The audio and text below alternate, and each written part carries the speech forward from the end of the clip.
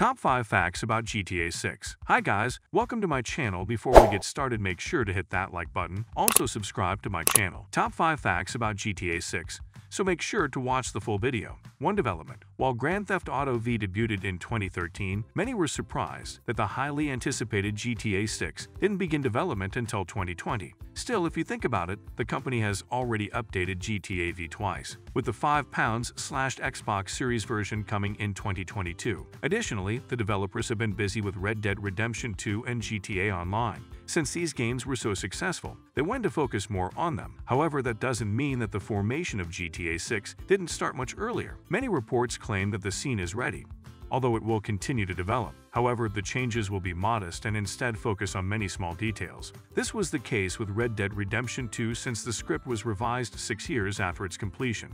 To platform, Will it be time exclusive? Since the launch of the current generation of consoles in 2020, there is no doubt that the game will come to PlayStation 5 and Xbox Series X/S. It's also hard to bet against a PC version, even though it looks like it will be out in a few months. This is Rockstar's usual practice, as in GTA V they needed more time to optimize various materials. It's conceivable that the Nintendo Switch will be dismissed as not being powerful enough. Even if Nintendo releases another console in the next few years, it might never get to this point. We don't think the game will be platform exclusive, even if it's only for a few months. Rockstar Games wants to sell as many copies as possible, and not even Microsoft or Sony can make up for that. The last GTA console exclusive was San Andreas on £2 in 2004. In the end, there is no doubt that GTA 6 will have a long lifespan, so we can expect more remakes for next-gen consoles. 3 Release Date this is such a huge game that we're sure Rockstar Games doesn't have a firm release date yet, as we saw with Cyberpunk 2077. Launching a game early and postponing a launch puts a lot of pressure on developers and can lead to a shoddy product. However, reports suggest that Rockstar Games' parent company Take-Two will spend nearly $90 million on marketing between 2023 and 2024.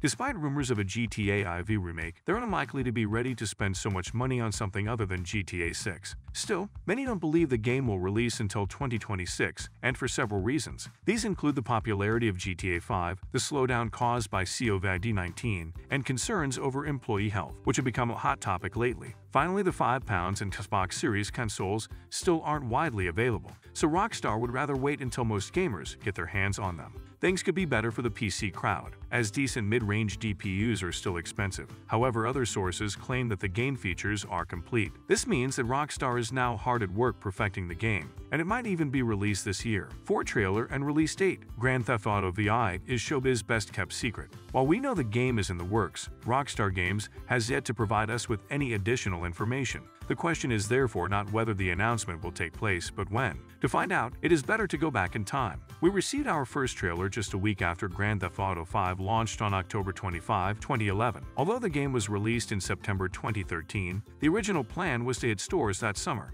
That means the game trailer was released about 18 months before it was released. Additionally, Grand Theft Auto IV has followed a similar path since its announcement in June 2006, 16 months before its original release date. According to this logic, the trailer should be released in the spring of 2023. Information from reliable sources suggests that we will learn a lot about the game's story, with a focus on Lucia. 5. Realism and Graphics Grand Theft Auto games mimic the real world, so they are not meant to be real, except for GTA. London 1969 These games are always set in fictional cities, even though they are based on real cities. Cars are fake, because manufacturers don't want their vehicles destroyed or badly damaged, as we saw in Forza Horizon 5. But that could change if you ask Jamie King, one of the co-founders of Rockstar Games. King says he expects humor and edginess, with an emphasis on authenticity. This change will undoubtedly clarify the game that everyone wants to see. Additionally, realism mods for GTA IV and GTA V add real cars, and even turn Liberty City and Los Santos into New York and Los Angeles. What do you think of our video? Let me know in the comments section below. If you enjoyed this video, make sure to hit that like button. Also subscribe to our channel before you go.